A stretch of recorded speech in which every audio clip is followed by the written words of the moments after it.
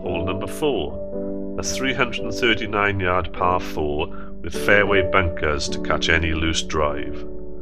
The ideal tee shot is a layup just short of the bunkers, leaving an iron or strong wedge to a receptive green which slopes from front to back and is guarded by a bunker front left.